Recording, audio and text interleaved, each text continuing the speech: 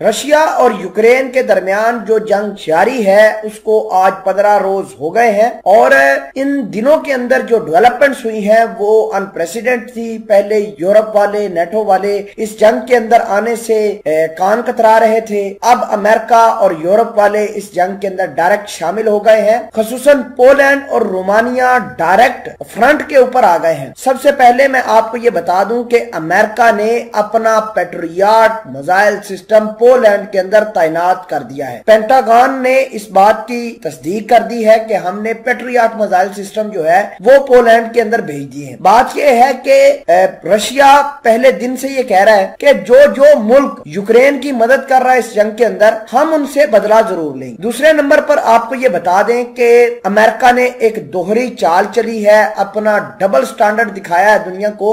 वो वीडियो के अगले हिस्से में मैं आपको बताता हूँ कि इन्होंने क्या चलाकी की है पोलैंड के साथ और और यूक्रेन के साथ, जिससे अब रशिया को ज़्यादा फ़ायदा होगा। तीसरी बड़ी खबर यह है कि खरस्तोन नाम की एक जगह है, यूक्रेन के दारकूमत कीव के थोड़ा सा बाहर। ये एक टाउन है, वहाँ पर 400 सिविलियन गिरफ़्तार किए हैं रशिया ने। और रशिया ने ये कहा है कि ये सिविलियन जो है, ये बेसिकली जासूस थे, ये गुरिल्ला वारफेयर में एक्सपर्ट्स थे, और ये रशिया के ऊपर हमले करने में मुलवस है। मैं इस खबर को थोड़ा सा डिटेल और मुकम्मल प्रूफ के साथ आपको दिखाता हूँ। छोटी सी गुजारिश है कि आप हमारा यूट्यूब चैनल हसरात टीवी को सब्सक्राइब करके पास मौजूद घंटी के निशान को दबा लें, ताकि लेटेस्ट न्यूज़ आप तक बर वक्त पहुँचती रहे। सबसे पहले आप ये खबर देखिए, जिसके अंदर लिखा है कि US to send Patriot missile system to Poland शुरू दिन से हम कह रहे हैं कि पोलैंड के ऊपर हमलों की बरसात हो सकती है, हमलों की बारिश हो सकती है।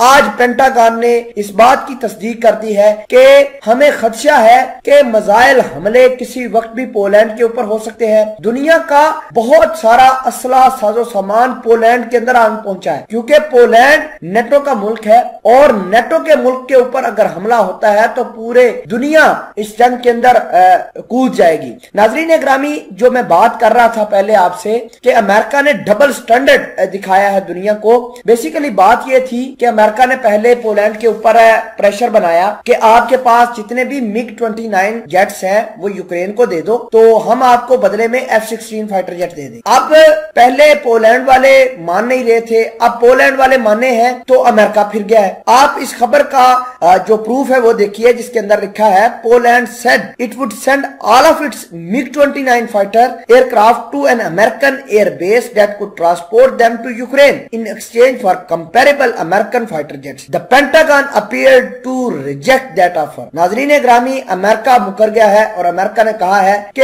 हम किसी तरीके से पोलैंड से जहाज़ मिग 29 लेकर यूक्रेन के एयरफोर्स को नहीं दे सकते। पहले तो अमेरिका यही बात कर रहा था कि आप मिग 29 फाइटर जेट यूक्रेन को दे दें, हम जो है आपको एफ़ सिक्सटीन दे देंगे। लेकिन अमेरिका मुकर गया है। बेसिकली पोलैंड ने अपने सर पर जो जंग मंडला रही है, उसको अच्छे से बांप लिया है। उसको पता चल गया है कि अगर यूक्रेन की मदद करने के लिए अमेरिका नहीं आया तो ये कल को अगर हमारे ऊपर भी हमला हो जाए तो ये अमेरिका नहीं आएगा। अमेरिका किसी का साथ नहीं देता, सिर्फ़ अपना इंटरेस्ट सामने सामने रखता है। और आपको ये भी बता दें कि बरतानिया के बहुत सारे फौजी अब बागी होके यूक्रेन की जंग लड़ने के लिए आ रहे हैं। और जो दोस्त हमारे ये समझ रहे थे कि ये जंग कुछ दिनों के बाद खत्म हो जाएगी, यूक्रेन के ऊपर कब्जा हो जाएगा, रशिया का और रशिया यहाँ पर अपनी मनमर्जी की गवर्नमेंट बनाकर वापस चला जाएगा तो साहब ऐसा नहीं होगा। अगला फ्रंट, यूरोप है। यूरोप का मुल्क पोलैंड अगला निशाना है। अमेरिका ने खुद इंकशाफ किया है कि 680 के करीब मजाइल जो है वो यूक्रेन के